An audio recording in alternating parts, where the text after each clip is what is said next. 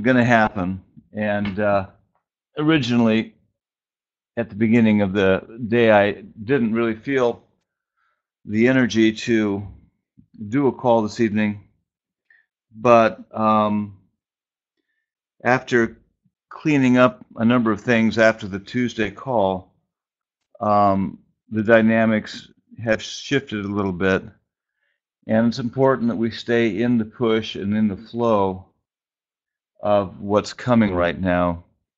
So um, that's why I just felt, you know what, let's just do a short call and let's just dive into it. I'm as curious as probably all of you are to see exactly what's going to come because I generally might have an inclination, but a lot of times I really don't know exactly what's going to come. And after the call on Tuesday, it has definitely thrown thrown us into some deeper introspection.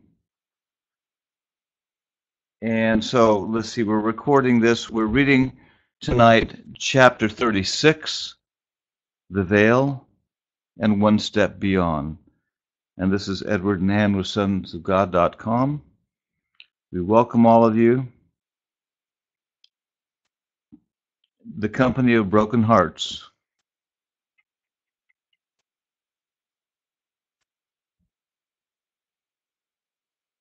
It's really true. We are a company of broken hearts.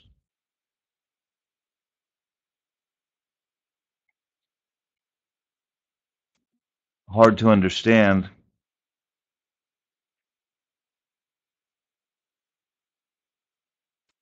And you can't really quite explain it.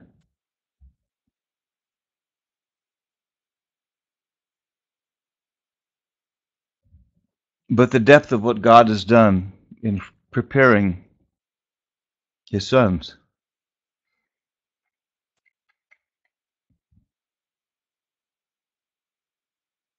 has gone very deep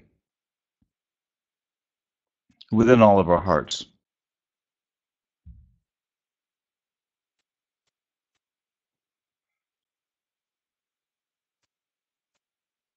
It just, it's like the Psalms deep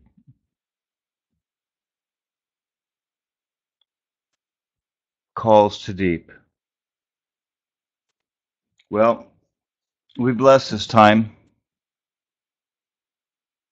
that we have this evening.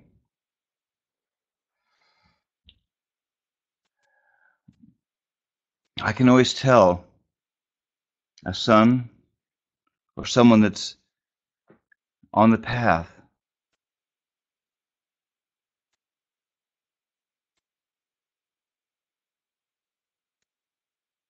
because there's that deep brokenness.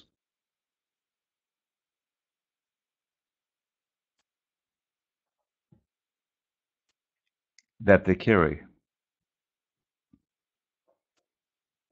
The arrogance, all of the stuff of the soul, all the trying to prove, and all of that stuff has long since been burned away, ladled off.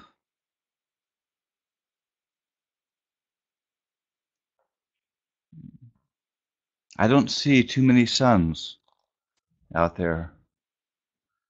I see a lot of goats, not too many sons.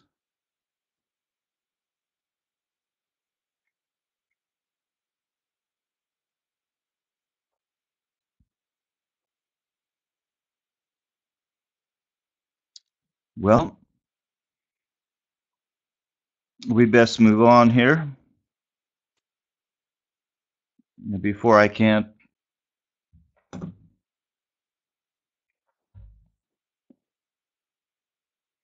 move on myself besides just laying before him. So we left off on Tuesday with something that was genuinely uh, groundbreaking. And as I've said before, A good steward listens, documents, and tracks on everything God speaks to them because you're so hungry for the Word and you're hungry to understand. And so, a lot of times, you just put notes down. You don't understand what they even mean, and you realize it's hard to understand from the mind that we're still processing out of.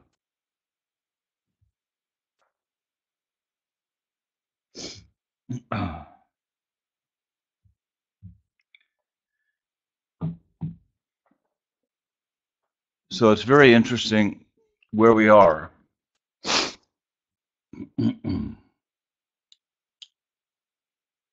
Because where we left off for Anne and I began to connect pieces of the puzzle for us. Things, deep things that God has spoken over the last 15 years. It's probably been more than that now.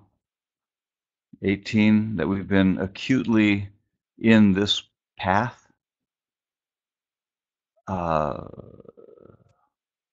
and we've compiled books, literally books and books of notes and experiences and things,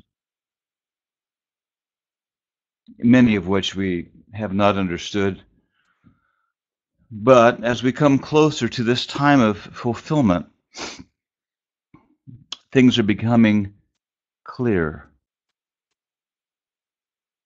Clarity is becoming something that we're becoming associated with.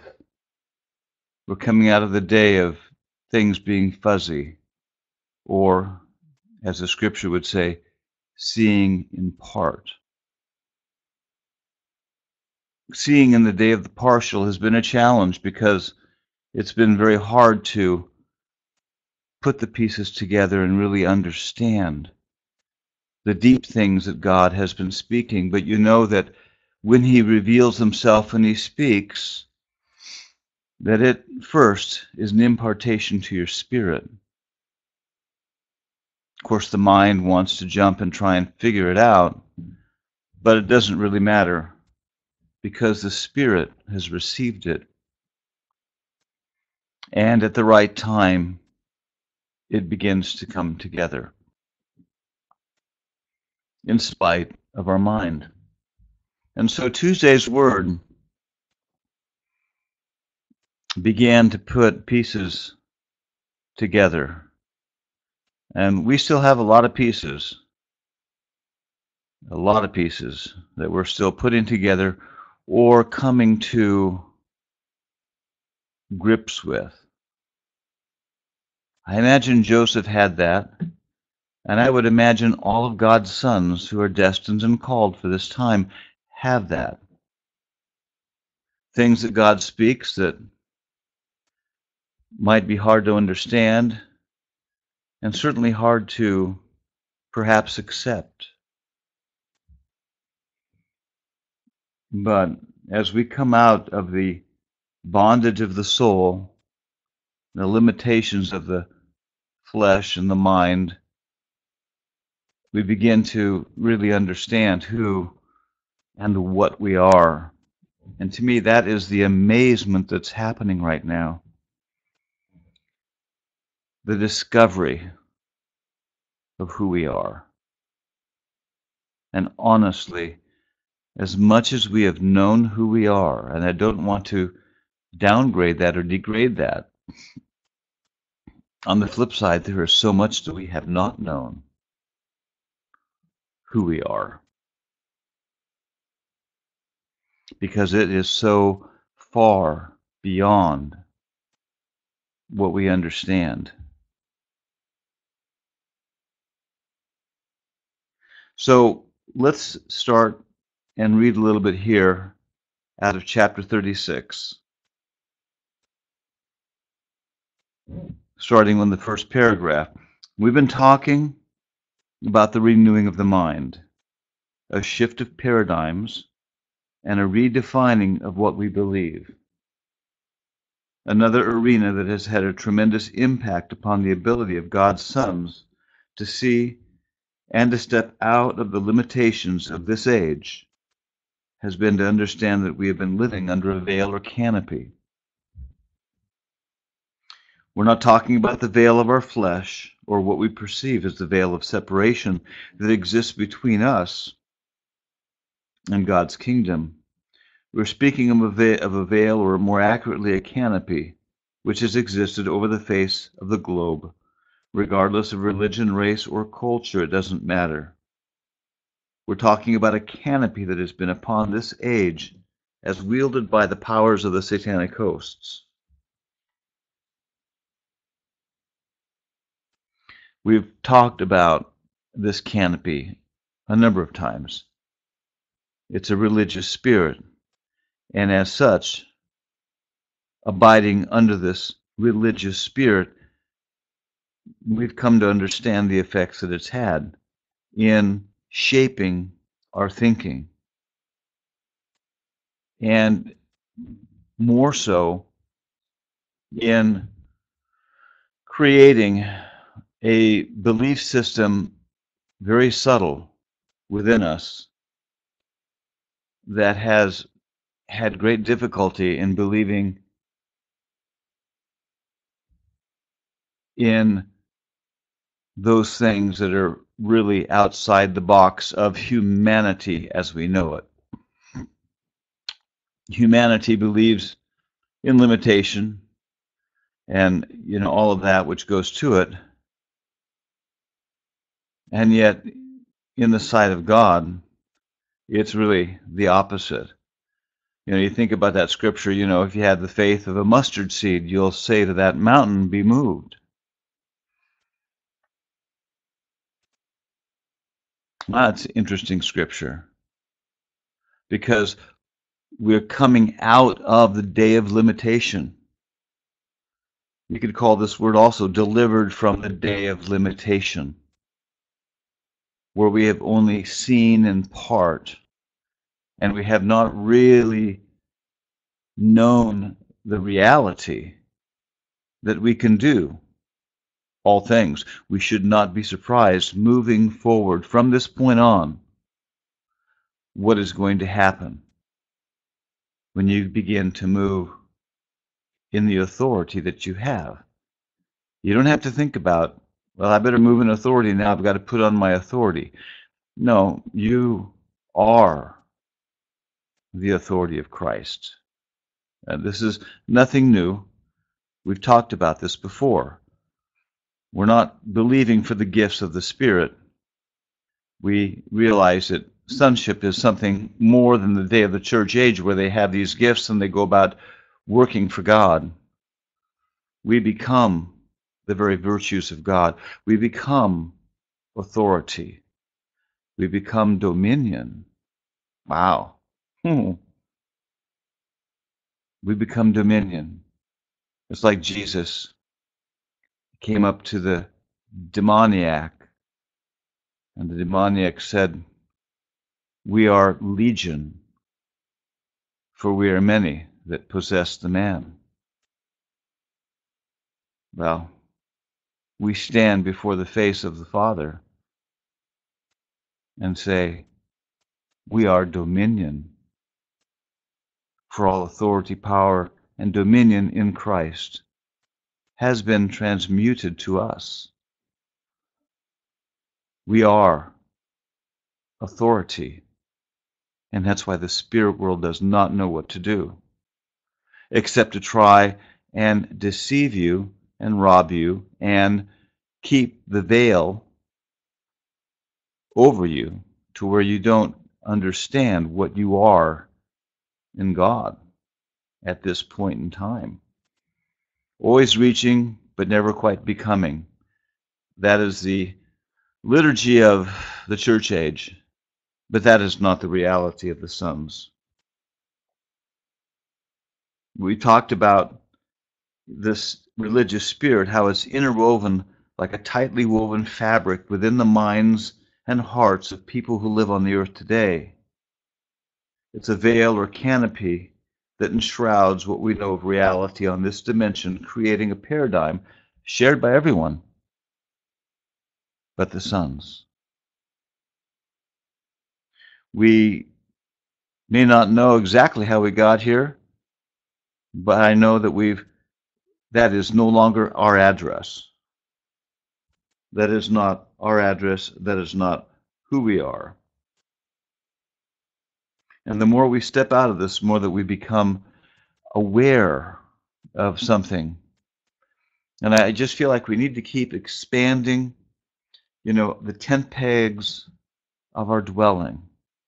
Isn't that what God's been doing with you for however long? You know, you read you know, that, that scripture is back in the Old Testament, somewhere in the Kings or wherever. Isaiah, I don't know. Expand the tent pegs of your dwelling. Huh.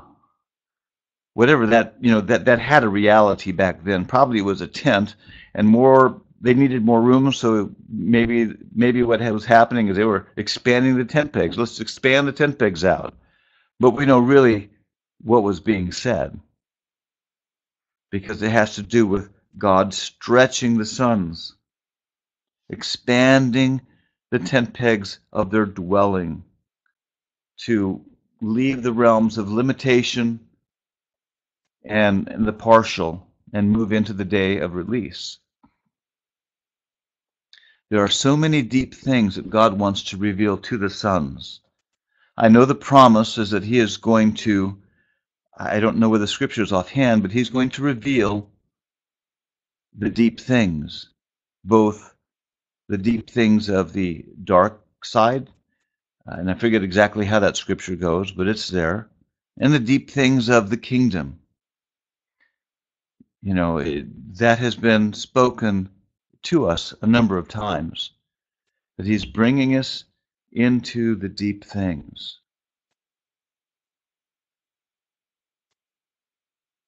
This is the only way that we want to walk. You know, we walk holding hands with Enoch, Elijah, and others. And if you weren't blown out with Tuesday, then you're ready to move forward with even more of what God wants to speak about. And more of it is going to come into focus because I know we've already been here. I know we've already done this, but I don't understand that. There's something in what we are and what we're doing and what He is in us that is so far greater, and we've just been ripped off for a very long time of sorts. You might say ripped off by the enemy, but we know we've been in this process of just coming up higher, coming out of the limitation.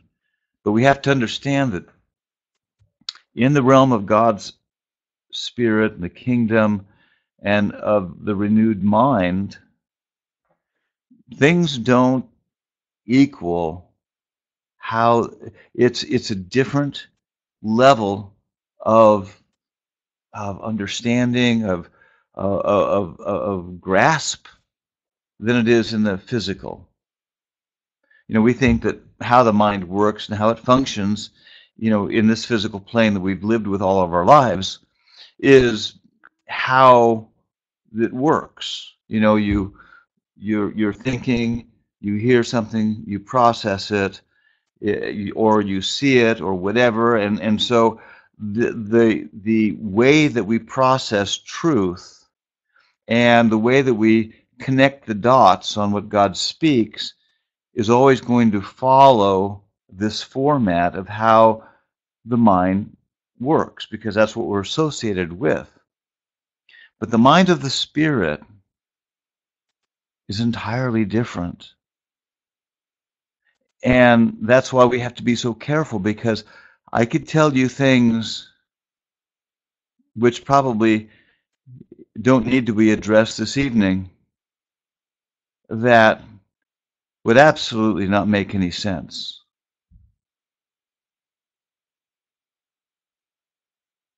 By the mind that we have. And yet, by the mind of the Spirit, it, it's it's completely different. I don't even know how to explain it because I don't even know exactly what I'm saying here. Except I am walking through this. You're walking through this. Things don't measure up the way that you think they will. The mind of the Spirit is different. It's not saddled with this machine of the soul that we have, this mental thing connected to the body, you know, the cerebral cortex and so on and so forth. Take all of that out of the equation and just see yourself as pure spirit. The mind of the spirit, at least that's how the scriptures refer to it, is entirely different than the mind of the soul and the mind of the flesh. That's why, you know, spiritual words are very hard to dissect and understand with the mind of the soul. And that's why visions and appearings that come can be very challenging because the mind of the soul is trying to break it down and understand it and deliver it to your consciousness so that you can then you know go back and look at the appearing the vision the whatever and understand it. But you have to realize it's been filtered and filtered through the mind of the soul and whatever you're grasping out of what came to you in an appearing or vision is a partial. It was a lot more than what you think it was. That's why we're we're constantly just working through things, and that's why things don't necessarily make sense.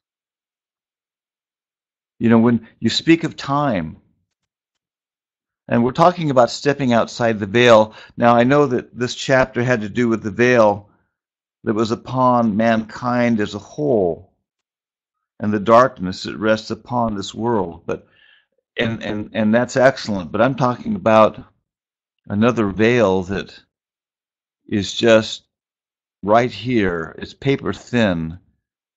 It doesn't have anything to do with the sons of darkness and and the principalities and powers and and all of that you know uh, dimension.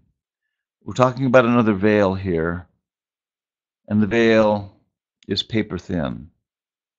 And it's interesting because this has been, you know, we've seen this over the last 20 years. The higher up you come in your vibration, the thinner the veil becomes. The, and so you can say, well, what do you mean veil?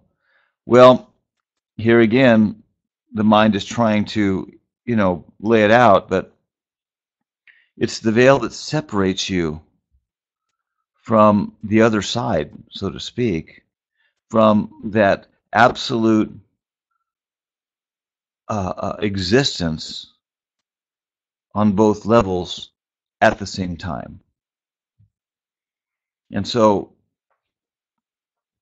you know, what what is what what's the distance between us and the cloud of witnesses? What is it? Well, it's just been a veil.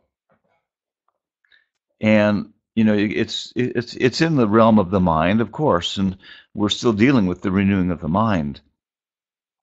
But nevertheless, take you know, let's put that over there on the side for a moment. The veil is what the veil is. It is just a thin frequency that exists. It's like, you know, you've seen some of the sci-fi movies. They they walk along, and all of a sudden there's this little substance in front of them, a little frequency, a little vibration, or whatever it is, and they step through it, and all of a sudden it's a different world. You know, it, it's it's kind of similar. But the higher up in your frequency that you've come and been coming, the thinner and thinner that veil is. And before you know it, the veil will be gone because of the level of your ascension. And when that veil is fully removed,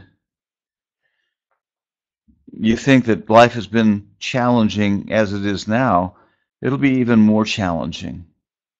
Trust me, it will be more challenging because it will become a little more difficult to differentiate between worlds because the overlapping is going to be so great. And there'll be times you're going to have to ask yourself, you know, what level is that that I just saw? Is that, you know, well, we're headed into this. We're headed into this, and it has to do with the renewing of the mind. And your eyes are going to change from being eyes that are the reflection of your soul and body to eyes that become, be, begin to become the tool of your spirit. You know, Paul says that the eyes of your spirit might be, you know, come alive. I forget how that scripture goes, but nevertheless, and he's talking about that you might know, but we're coming into this. The veil is getting thin, very thin. There's going to be more breakthroughs through the veil to us because our frequency is beginning to come so much closer. And the transition is going to be interesting. It's going to be interesting because I don't know fully what the experience is going to be in walking in two realms with an absolute consciousness on both at the same time. Not sure how that's all going to work. But like I said, the mind can't necessarily understand it. It's like talking about the realm of time. Because I know that time is going to cease. And God's been talking to me about that for a couple of years. So I know it's coming. And I know, well, I can't say I fully understand all the dynamics of it, but it's it's headed this way. And so as you transition into the realm of spirit, then it becomes very interesting because you're both living in the realm of time by virtue of the physical, but you're living outside of the realm of time by virtue of the spiritual until you make that transition fully into the spirit where time ceases to exist. At that point, I think you really enter into the Melchizedek ministry, who has neither a beginning nor an end.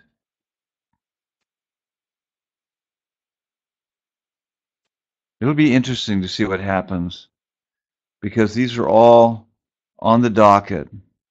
And God just wants us to keep dropping the way that we have thought about everything. The whole resurrection, I'm reaching for it. Well, wait a second. Resurrection you already have. In some aspect within your being, you have possessed resurrection life. And I can't explain to you on what level or where that is. I just know that it is a reality or God would not have kept speaking about it. But now we have the challenge, the, the glory of God to conceal a matter, and the glory of his sons, the kings, to seek it out. Father, I, I know I know that we have resurrection life. I know that that frequency is in me and it's vibrating and I feel it. I feel the frequency of resurrection. That'd be a great title for a word. Father, I feel the frequency of resurrection in me. But it hasn't had its outworking yet. I'm not really sure, Father, how to do it. But I know that if I was to die at this moment, I'd be instantly resurrected because I have resurrection. And it's all right here, deep within me. The veil, you know, all these things, the kingdom, the kingdom, the kingdom is here. Yes, I know it's spread upon the face of the earth and men don't see it. I'm concerned about the kingdom within, as Christ said. The kingdom is already here, and it's within, and very mystical. Resurrection is here, and it's within, very mystical. We're not limited to time, and yet we still walk within the, the, the, constraints of time. I will, I will tell you this time travel is something that you've all already done. You're just not aware of it yet. God has not revealed to you what your spirit is doing. You've already entered into the ministry of sonship. You already have. You're not waiting to enter into it. You have already entered into it. Some of the warfare you carry in your body and, and just everything that goes on with you dynamically is because of what you are doing in your spirit and you're still running to catch up with a, an awareness and grasp of what you are in your spirit and what your spirit is doing. So, time travel, past, present, future. It's all, if you look at a linear line just laid out in front of you, you have access to any point in time. You do. I know that we have we have traveled back in the past a number of times. We've traveled way into the future. And all we've had to do is say, Well, Lord, with my mind, I don't quite understand it all. It doesn't quite make sense. But then this carnal mind can't process that information. But the mind of the Spirit can. We are so much more than we know. And if any of you have a trouble with any of these things, that's okay. But the call of sonship is so far more than just evangelizing a few people, healing a few, you know, all of the things that we've associated with the church age. The sons of God are truly something different, something vastly different from what we've known. So, this word tonight really is about the veil and one step beyond, but maybe not the veil that we've talked about in past as far as the canopy of oppression that's upon the face of the earth where people can't even understand. They no longer have the ability to see, they have no ability to understand. But to you who have the renewed mind of Christ, it's a whole different world that we live in. And we know that the veil is getting thin.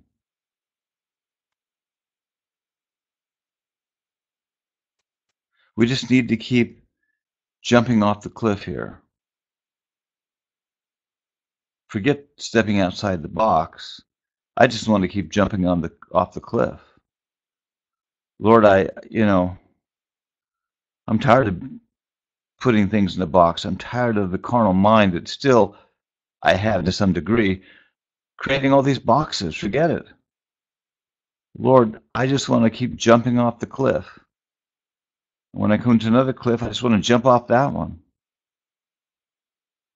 Lord, you've raised us up, delivering us out of the mind of the flesh into the mind of Christ. That means a lot more than just saying it, obviously. We can say it, oh, the mind of Christ, the mind of Christ, the mind of Christ. But I tell you, the mind of Christ is not limited. We're being brought into the mind of Christ, and that's going to encompass some that is encompassing so much more than we've understood.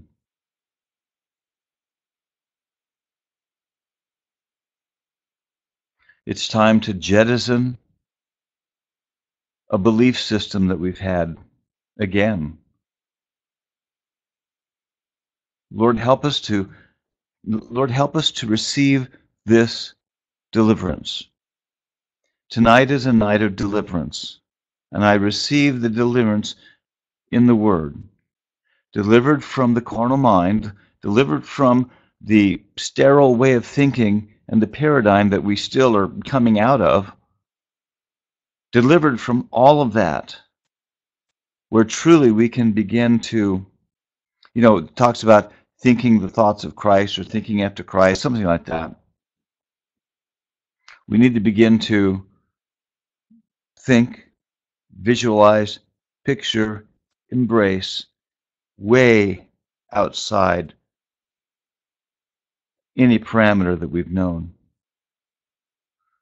Whether it's the elimination of this paper thin veil or embracing the reality of resurrection that's within us or anything else. We just need to take a big step. And I take we take that tonight, Lord. We take a deliverance, however it applies. May your anointing just permeate through our cerebral cortex and every other part of the soul and just clear it out. Deliver us out of this mind of limitation and constraint and unbelief and everything else that goes with it into the mind of Christ, where nothing is impossible. Well, we, Anne and I send our blessings for this short meditation this evening. We're tracking on something. We're going to keep reaching in because we have what we seek. Now it's time to really get it. Really get it.